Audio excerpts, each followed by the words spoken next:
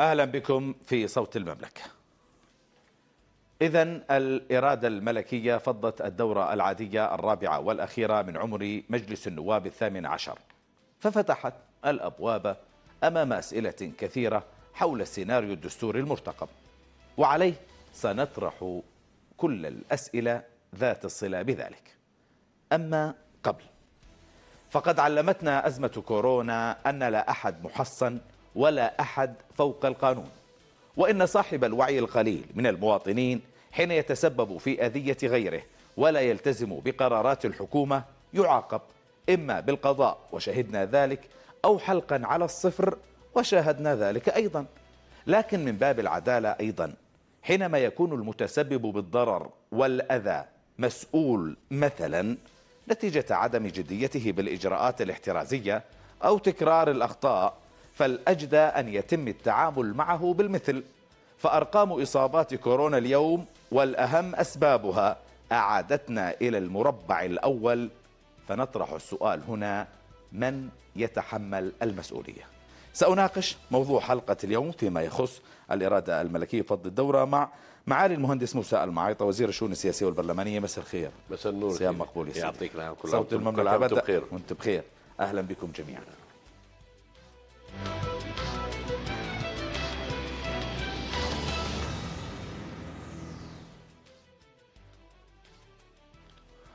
يمكنكم الآن متابعة صوت المملكة عبر حساب قناة المملكة على موقع الفيسبوك.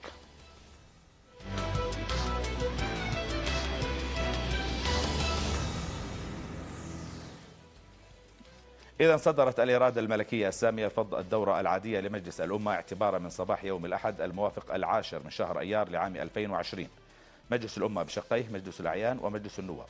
يقوم بوظيفتين أساسيتين هما الوظيفة التشريعية والوظيفة الرقابية. أهلا بكم من جديد واسمحوا لي أن أرحب بضيفي. مساء الخير معالي. المهندس. سنتحدث اليوم بالحديث السياسي في الشارع الأردني بعدما صدرت الإرادة الملكية بفض الدورة العادية لمجلس النواب. هناك سيناريوهات. تفضل سيدي. حدثنا عنها يعني بالتفاصيل بعد أمرك. تفضل. اولا هي مش هناك أحكام دستورية والدستور يحكمنا. نعم. يعني يحكم أي سيناريو. آه، آه، في هذا المجال. وطبيعي كل السيناريوهات هي بيد صاحب الجلالة يعني. امام الدستور وهو يستطيع أن يختار من كل هذه آه، حك- حكما للدستور. نعم. اولا المادة 68 في الدستور تقول أن مدة المجلس أربع سنوات شمسية. نعم. وعمليا هذا تعني أن المجلس الحالي تنتهي مدته في 26 9 يعني 27 9 2016 أعلنت النتائج في الجريدة الرسمية. 26 9 بكون أربع سنوات شمسية. نعم.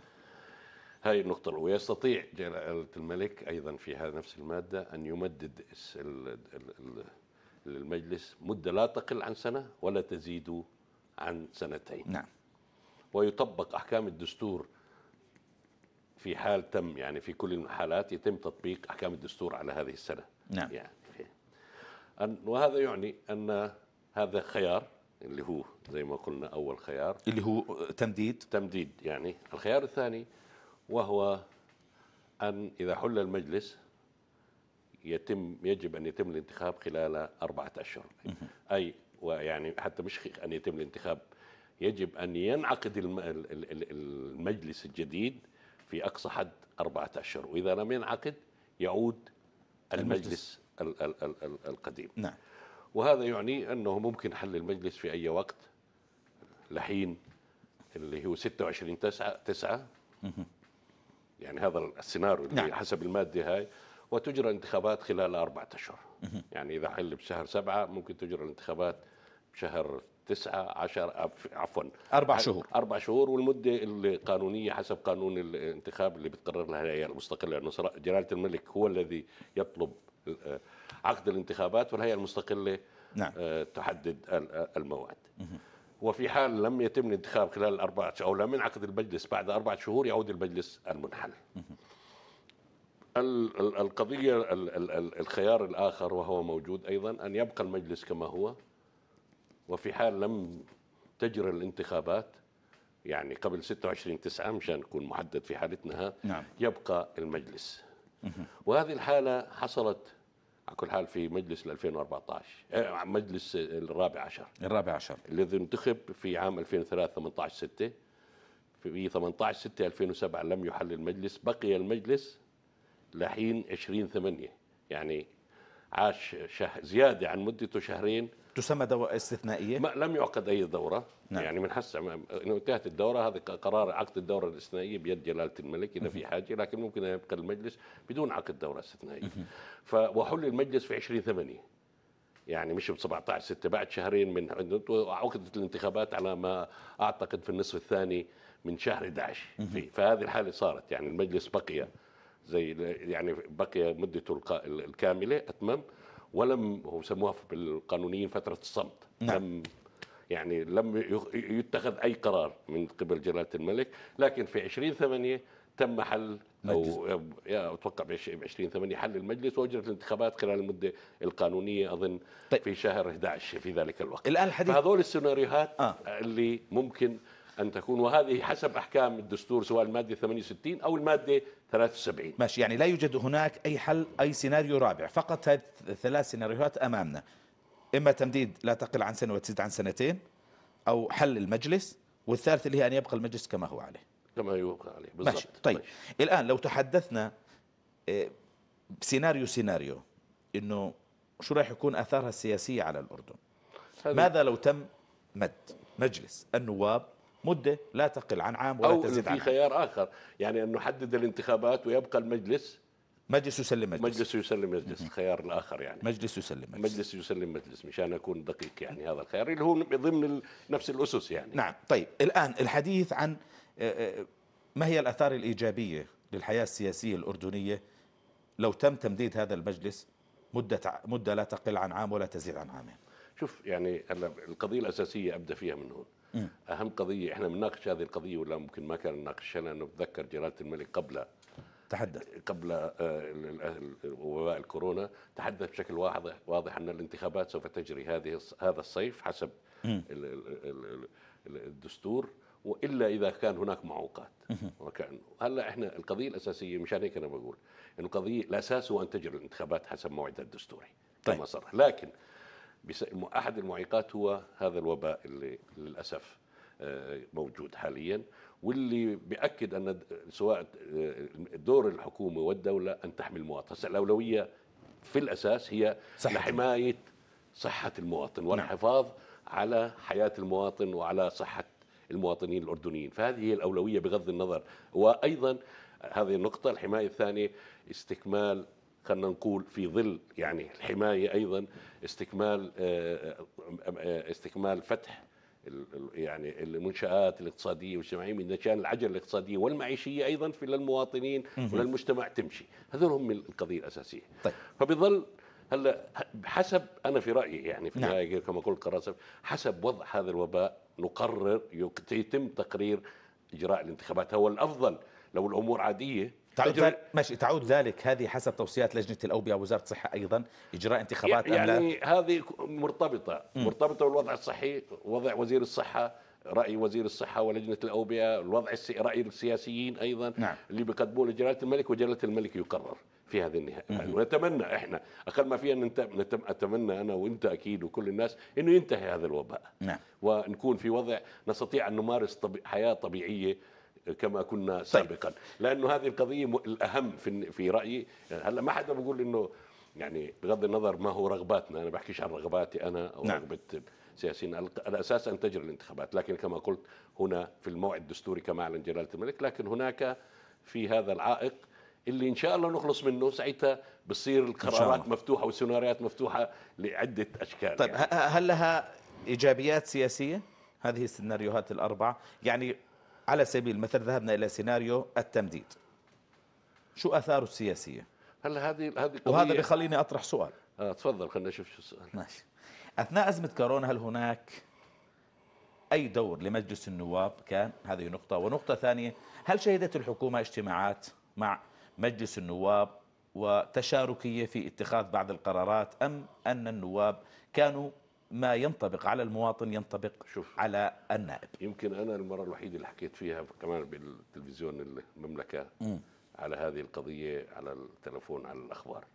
وقلت دور المجلس مشان ما نظلم مجلس النواب في كل نعم. مجلس النواب ليس تنفيذي. واضح. ماشي. دوره تشريعي ما دام مش منعقد بسبب الظروف اللي اللي منع فيها يعني اوقف انعقاد المجلس مشان التباعد ومشان نعم. عدم انتقال هذا الفيروس.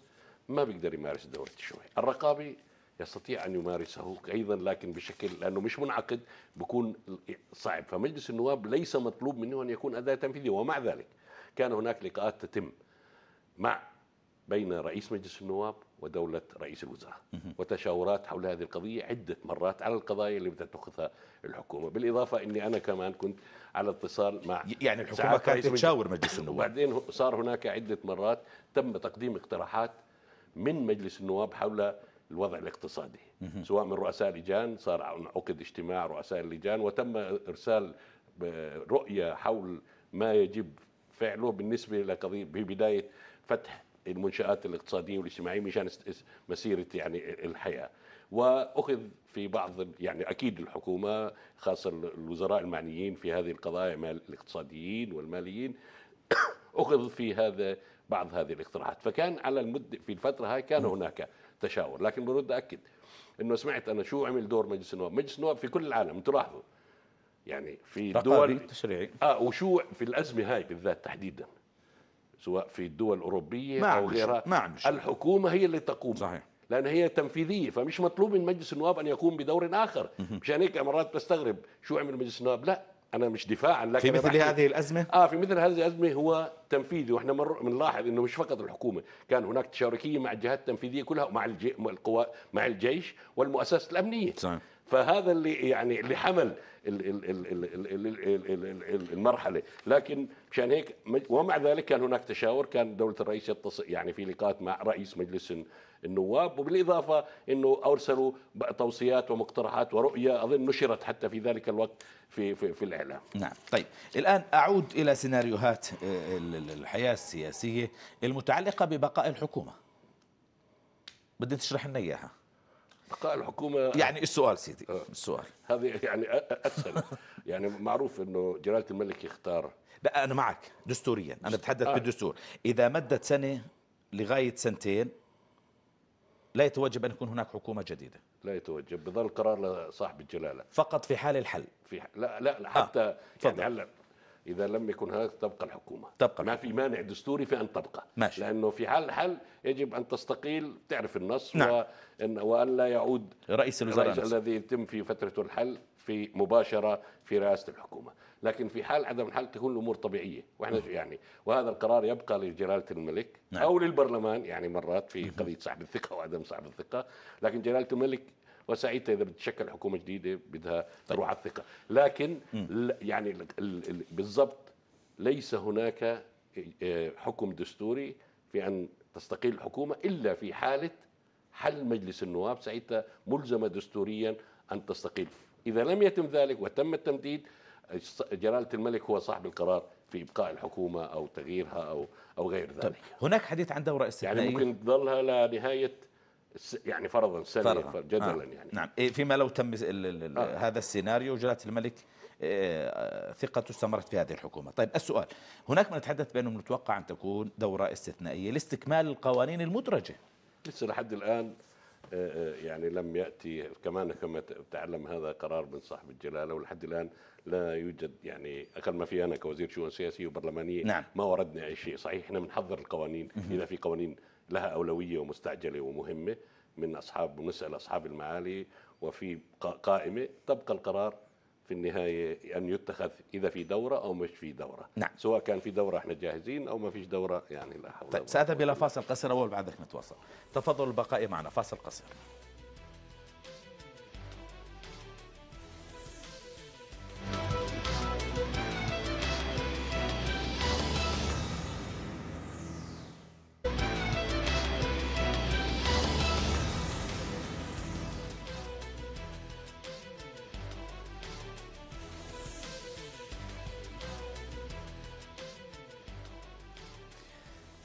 أهلا بكم من جديد واهلا بضيفي معالي الوزير. أعود لنطرح بعض الأسئلة. الآن تركنا إحنا موضوع مجلس النواب هو بعود بالقرار الأول والاخير لجلالة الملك. وهذه السيناريوهات الثلاث التي تم وضعها سيتم مناقشتها في حين اتخاذ هذا القرار. اسمح لي الآن أن أطرح عليك بعض الأسئلة التي تخص الحكومة على وجه الخصوص. هناك في الشارع حديث دائر يقول بأن الحكومة تعمل على تمديد لمجلس النواب. يعني وكأنها تعطي لنفسها عام جديد. إلى أي حد هذا الحديث صحيح؟ أولا الحكومة تعمل بشكل طبيعي. نعم. من مهمتها ومن واجبها أن تقوم بالعمل بإدارة أمور الدولة بشكل طبيعي وعادي وفي ومن حق أي واحد يكون له طموح أن يستمر. نعم صحيح. يعني ما فيش خاصة إذا هو عنده إمكانية أن ينجز ويقدم. نعم. وهذا سواء هاي الحكومة اللي أنا فيها وبتشرف إني فيها أو حكومة أخرى يعني. فمن حقها إنها لكن في النهاية في مصلحة عامة وفي الديمقراطية يعني خلينا نتفق. لولا وحكيت أنا البداية لولا ما صار هذا الوباء للأسف كان الانتخابات أجريت يمكن في شهر ثمانية. صحيح. حسب ما صرح جلالة الملك وكان الموعد. لكن بغض النظر هذا استحقاق دستوري ديمقراطي يجب القيام فيه والحكومة أول من تلتزم في ذلك نعم. بغض النظر. يعني أنا بالدستور في ماده المادة الدستور التي أضيفت أن أكون صريح وواضح في 2011 عدل الدستور وكان المادة التي تقول على الحكومة مشان أن تستقيل نعم. إذا التي تحل مجلس النواب ولم يكن وأضاف مجلس النواب على الا يتم على أن رأي لا يعود رئيس الوزراء نعم. في ذلك الوقت نعم. وتم التصويت عليه أنا في رأيي هذه المادة مش ديمقراطية إحنا بنلاحظ في كل الدول الديمقراطية إذا بدنا نناقش هذه القضية ماشي. في كل الدول الديمقراطية اللي بتجري فيها. رئيس الوزراء يبقى لحين يجرى الانتخابات. وإذا فاز بظل الحزب الحاكم وإذا خسر يذهب. في النهاية يجب الاحتكام للانتخابات. إحنا بالعكس عملنا ماشي بس هذا في حال وجود انتخابات حزبية. يا سيدي حتى الديمقراطيه حتى ليش هسه خلينا نحكي حتى في في في حاليا. آه، آه، أجرت الانتخابات في 2016 وكان رئيس الحكومة دولة ثاني الملقي. صحيح. أجرت الانتخابات في عهده.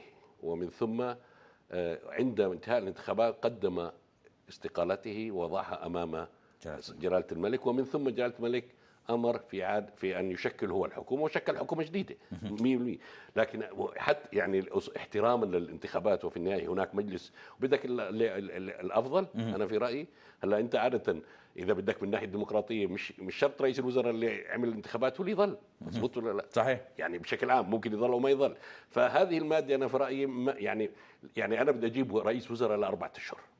مظبوط؟ فرضا إذا ماشي. الانتخابات وممكن ما يكمل. صحيح. فيعني فهذه يعني أنا هي صحيح المجلس النواب في ذلك الوقت اعتقد أنها تحميه من الحل. لكن إذا في حل راح ينحل يعني. أو المشكلة إنه حتى مش بالحل العادي قبل المدة هلأ. يعني لو جرت الانتخابات تم حل مجلس النواب شهر ثمانية. يعني أخذ مدته أربع دورات كل مدته بدها تستقيل الحكومة مع إنه مدة أو لو جرى انحل في 25 9 شوف 26 9 تنتهي مدته. لو 25 9 بدها تستقيل الحكومة ورئيس الوزراء لا يعود. وهذه صحيح. القضية أنا أعتقد في رأيي الشخصي هناك وجهات نظر مختلفة ليست صحيحة. أنا بفهم أن تستقيل الحكومة لكن لا أستطيع أن أفهم لماذا لا يعود رئيس الوزراء. ويكمل لحين إجراء الانتخابات اللي في النهاية ويذهب بعد ذلك إذا بقي هو يذهب للثقة أو بيجي رئيس وزراء ثاني يكلفه آه، آه، جلالة الملك. إن شاء الله ما كان معتمدا. إن شاء الله مهندس تشوفوا لنا رئيس الوزراء إحنا نطالب أيضا يستمر هذا رئيس الوزراء أكثر من دورة انتخابية أربع وخمس سنين إذا كان هناك خطة واضحة. صحيح يعني صحيح. كل هذا إحنا بنتمناه دائما. أنا أنت سألتني على إجابة على السؤال صحيح يعني. صح أنا لأن بقول لك هذا السؤال هو سؤال ومن حق أي سياسي. رئيس وزراء يستمر. أو رئيس وزراء أن يستمر إذا كان عنده برنامج وإذا كان يشعر. هذا حق طبيعي يعني. طيب ماشي. طيب هناك لكن هو في النهاية من صاحب القرار في طيب. في دستور نعم. يحكم زي ما بيقولوا صحيح. عمل المجلس النواب والحكومة نعم. طيب سيدي هناك حديث بأن هناك صراع كبير بين فريق الوزاري في حكومة الدكتور عمر رزاز الآن في أزمة كورونا. حديث صحيح أم أنا أنا موجود مجلس الوزراء يعني بعد أنا بسألك يعني معلم بس أنا عارفك. ما حسيت يعني وما شفت وما لاحظت إلا في خلافات وجهات النظر. بتصير. أنا بختلف مرات يعني بنختلف نعم. حول موضوع معين وإحنا بنعالج أزمة. مش طبيعية. صحيح. اول مرة شيء جديد علينا. ونجحت الحكومة بقدر كبير في الحمد لله. وهذا الحمد لله لمصلحه الدولة الحكومة ومؤسسات الدولة كلها. هنا بقول نجحت الحكومة بالتشارك مع الجهات الم- المؤسسات الجيش العربي وال- والأجهزة الأمنية. كل نجحت بقيادة توجيهات جلالة الملك اللي نعم. من اليوم الأول ظل محافظ. وكمان أعادت الاعتبار خلينا نقول أنا بدي أكون واضح للبيروقراط الأردني.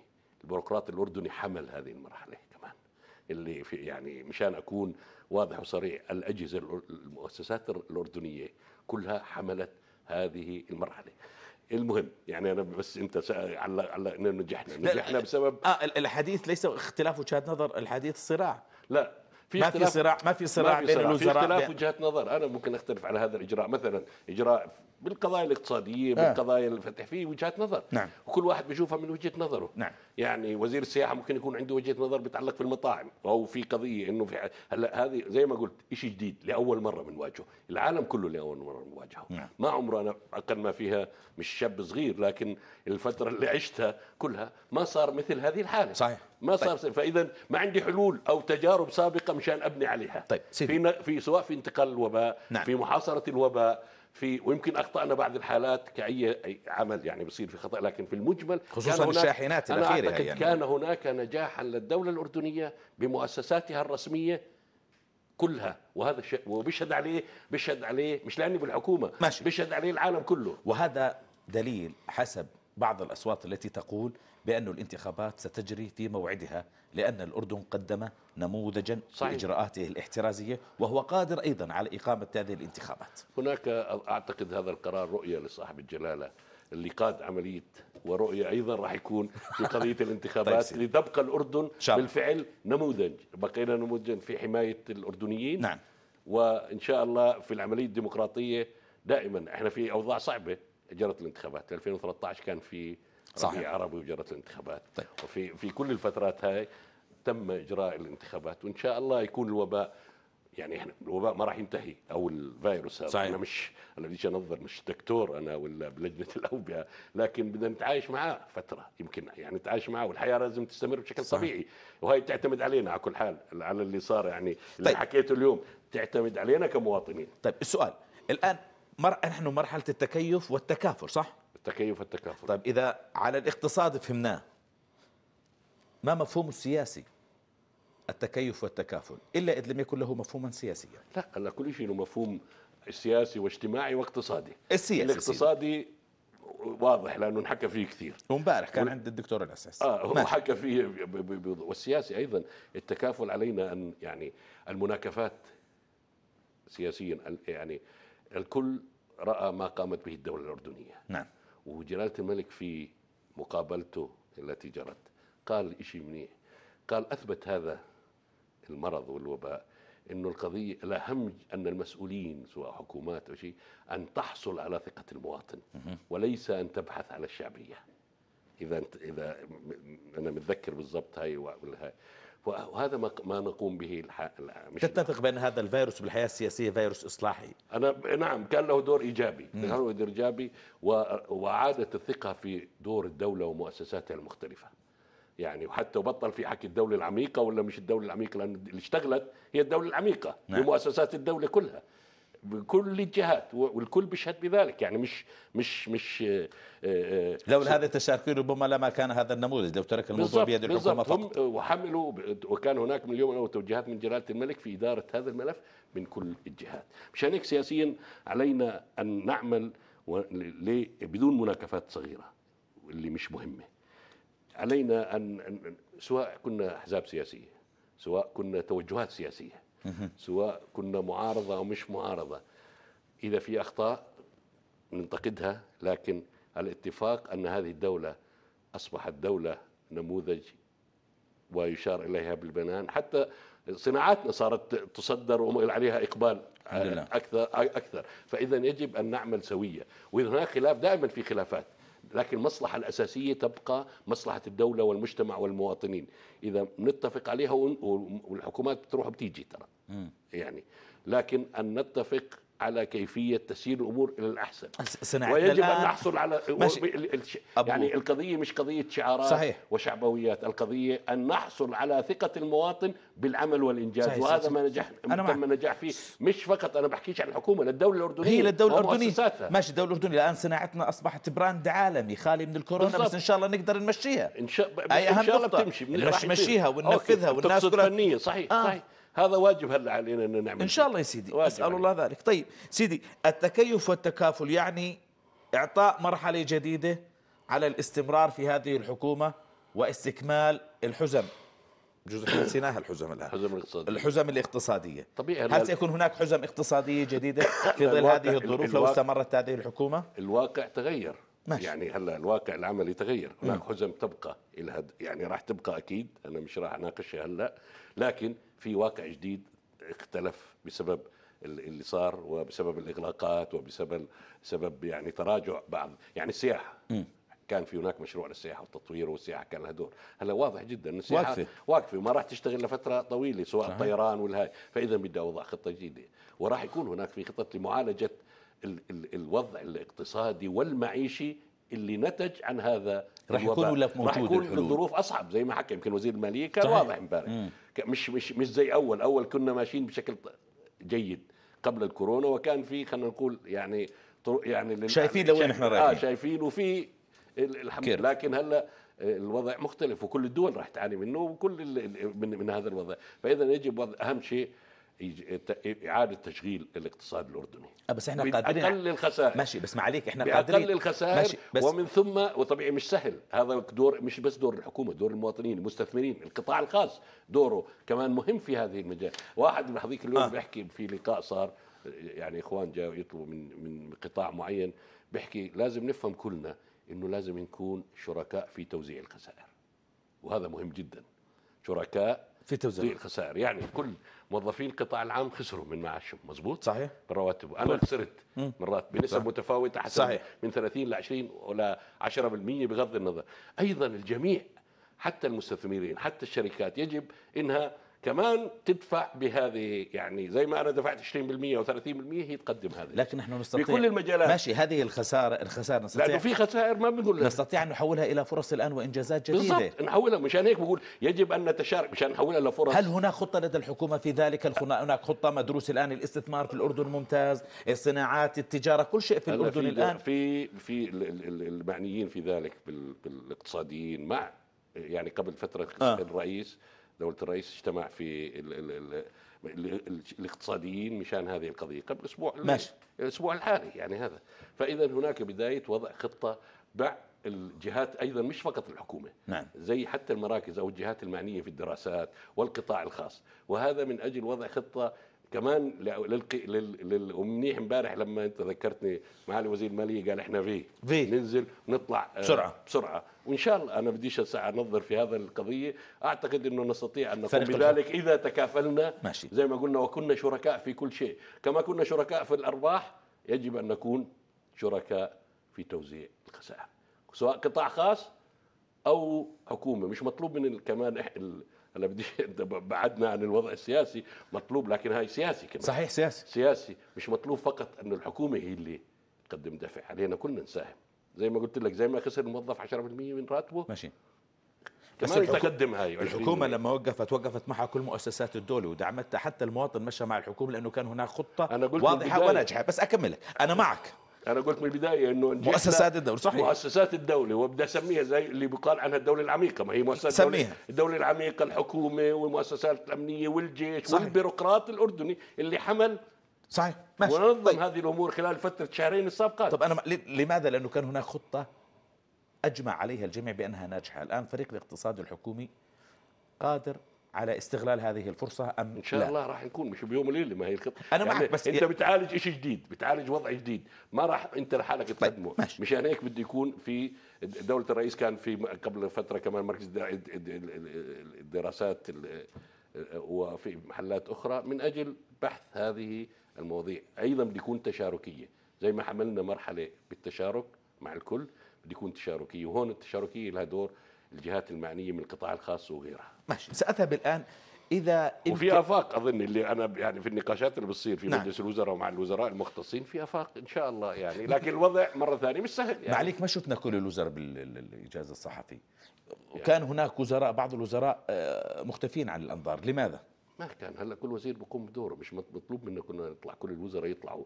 في الإيجاز إذا ما ليس فقط الإيجاز يعني بهذه الأزمة يعني, يعني- يعني شفنا أربع خمس وزراء فقط. هم يعني في هناك خلينا نقول يعني أنا كوزير شؤون سياسيه برلمانية. أنا بقوم بواجبي مع البرلمان مع الهيئه بس صرحت من هون ومن هون لا بس لي يعني دوري دوري دوري مختفي مخت- مختلف. صحيح. دوري مختلف. مش مش مطلوب مني أظني أطلع مشان فقط أخرج. نعم. واصحاب واصحاب المعالي الوزراء وزير الدولة الشؤون القانونية وزير العدل اشتغل بدون ما لأنه كان في كثير قضايا قانونية يجب بحثها من أمر الدفاع نعم. وكل طيب. ال- اللي طلعت من لكن مش الكل في الوزراء المعنيين المختصين في هذه القضية بالذات من العمل للص... للع... لل... الاقتصاد صناعة والتجارة والصناعة. والاقتصاد، هم نعم. دورهم نعم. يعني طيب. ما, فيها ما فيش ما فيش مسابقات إحنا بنشتغل كفريق واحد ما ماشي. فيش مسابقه. بيننا مين بيطلع إن شاء الله. هلا أنت جبت جبت وزير الصناعة ولا جبتني أنا لما نحكي على البرلمان والوضع السياسي بجيبك أنت بالضبط وهو نفس الشيء مش راح تجيب وزير المالية امبارح جبته بس ما نحكي على الوضع آه الاقتصادي بس بس أبو حمص أنا ما بحكي معك بس لأنك شو- وزير شؤون آه، برلمانيه وسياسيه ليش؟ بسال عنك عن كل شيء أنت وزير قديم ومعروف. إن شاء الله يبارك فيك تسلم. فاصل قصير أخير. ابقوا معنا.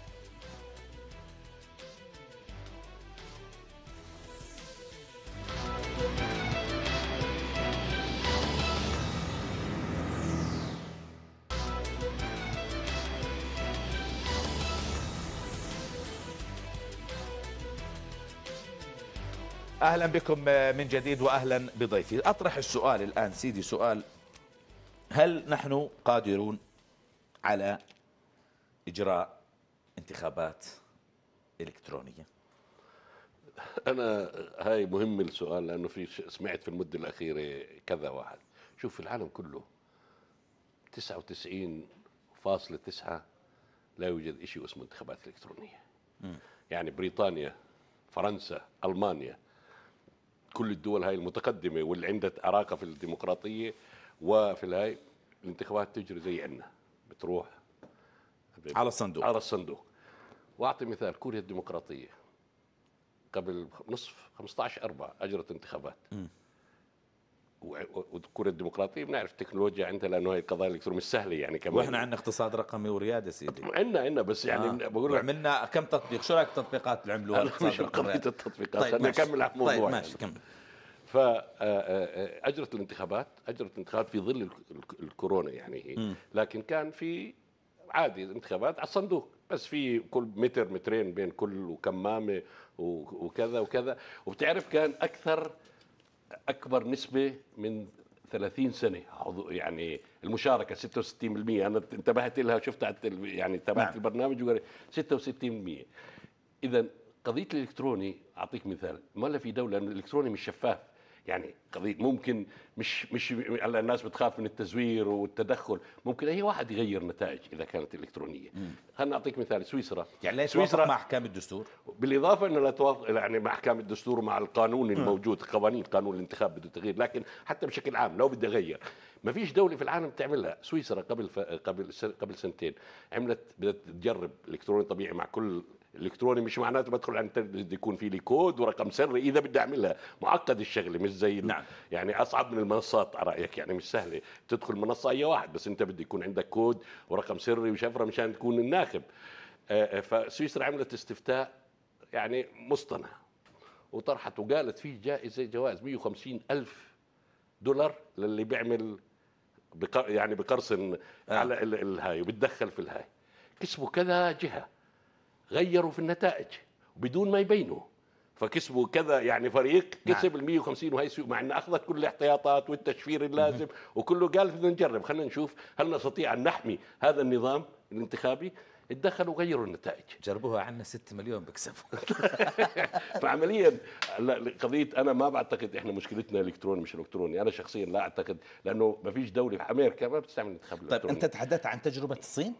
أي لا كوريا, كوريا. كوريا. الديمقراطيه اللي اجرت الانتخابات 15 طيب 4 هل مطلع على هذه التجربة بشكل كافي وبالتالي يمكن أن يتم تطبيق هذا السيناريو في الأردن فيما لو تم حل مجلس النواب أم لا وفي حل شوف. وفي ظل استمرار كورونا كل كل كل كل آه، آه، ده مجتمع له خصوصياته ماشي عرفت وإحنا أنا قلت من البداية انه القضية أهم شيء حماية المجتمع حماية صحة الناس فعمل إن شاء الله إن شاء الله أنا بقول إنه يعني نتجاوز هذه المرحلة وفي وقت لاجراء الانتخابات إذا سيدنا أمر. نعم، هذا سؤال- اجرى اجرى وبعدين هاي القضية يعني يعني آه، آه، في إجراءات كثيرة ممكن أزيد عدد أماكن الاقتراع وعدد الصناديق بحيث لا يكون في يعني هذا في المستقبل ما بقدرش أعملها هسه بشهرين ثلاث إلا إذا تاكد ممكن أزيد عدد ال- ال- الصناديق ممكن أعمل كثير قضايا بحيث أهم شيء هي شو الفكرة؟ إنه ما يكون في تجمع.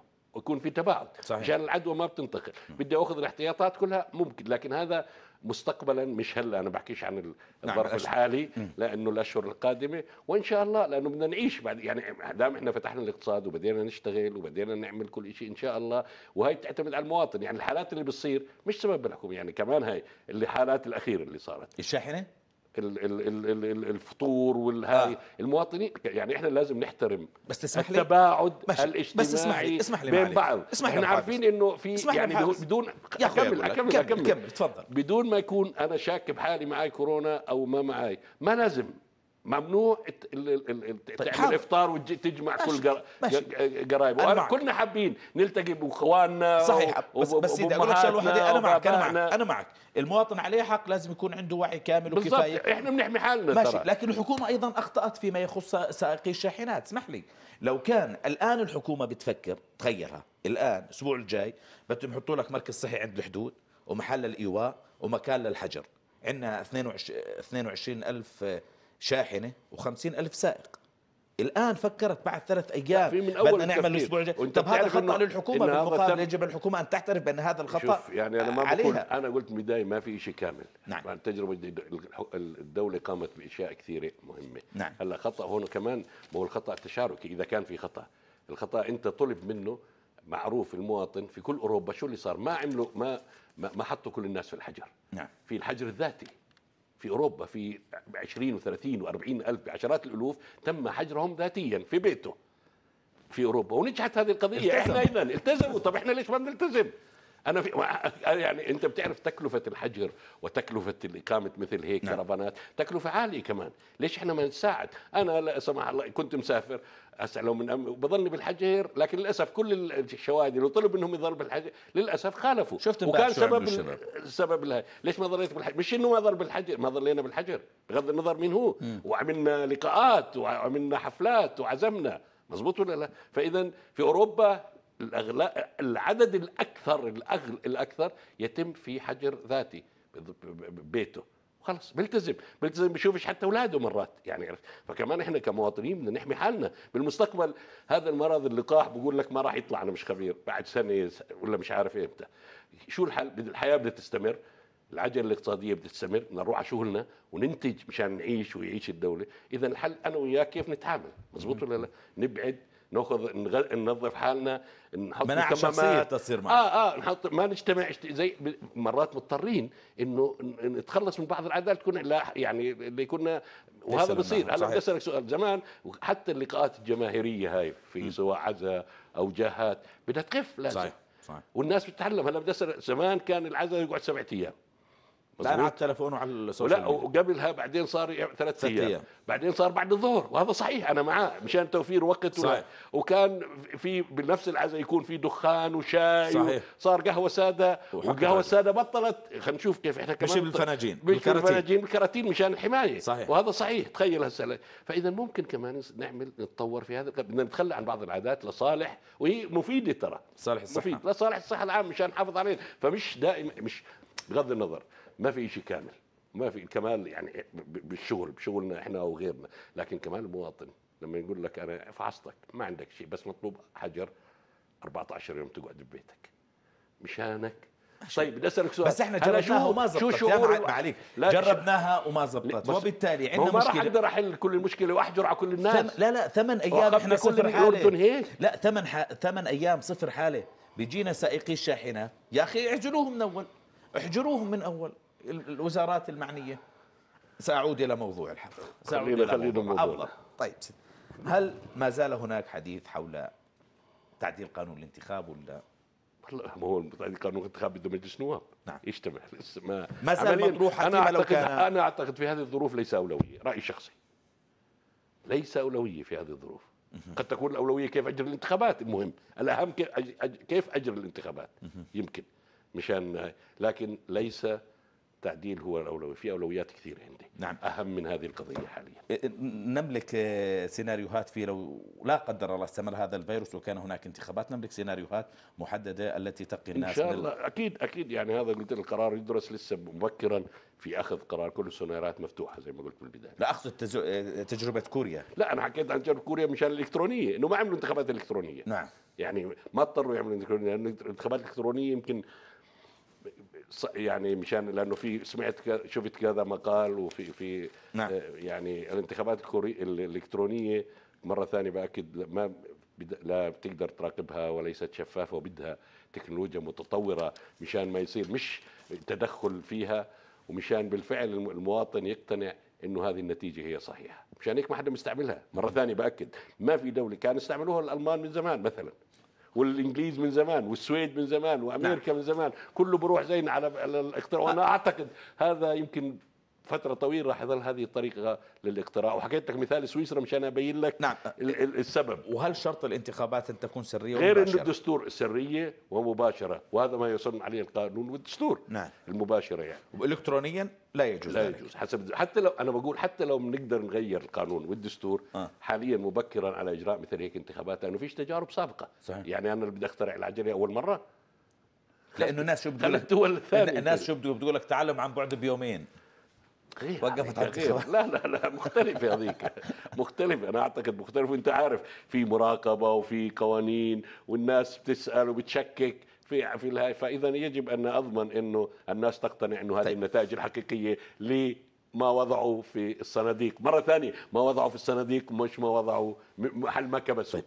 دائما يعني بديش أكون أنا محافظ ضد التطور أنا مع أنا مهندس إلكتروني ترى. يعني. مشان هيك ما عندي مشكلة. طيب دائما أحب أن أسألك عن الأحزاب. هل كان الأحزاب أي دور تواصل معكم فيما يخص أزمة كورونا؟ قدموا توصيات اقتراحات حلول. في بعض الأحزاب قدموا كانوا يتصلوا صحيح. كمان زي ما قلت يعني في العالم كله يعني خلينا نوضح كمان المواطن مش نعم، أنا. بهم مشان أكون موضوعي نعم. وصريح. الدور الأساسي كان للسلطات التنفيذية. ولو يعني ما في مثل هيك دور لل- حتى مؤسسات المجتمع المدني مع إنهم كمان نشطوا والأحزاب مع يعني في فترة كان الأساس هو الجهات المؤسسات الرسمية حكومة، الأزمة. إدارة الأزمة تنفيذيا فما يعني شو ما يعني مش لأنه ما بدهم ومع ذلك كان هناك اتصالات في ناس قدموا لنا اقتراحات كتبوا اقتراحات من الأحزاب ودوها للمعارض لل- لكن الأساس هو الدولة هي المسؤولة مؤسسات الدولة كانت مسؤولة عن القيام بكل الإجراءات اللي طيب. مرينا فيها بالشهرين. يمكن في المستقبل هلأ كمان شوي راح يكون لهم دور أكثر. إن شاء الله يعني إن شاء الله تقل الحالات نكون هاي آخر حالات زي هيك. إن شاء الله. إن شاء الله يا نهاية بالعيد آه، نعيد على خير إن شاء الله بدون حالات. إن شاء الله. هل هناك دراسات آه، قمتم بعملها تخص هل تغير فكر المواطن في هذه الأزمة الفكر السياسي وأنت تعلم أكثر مني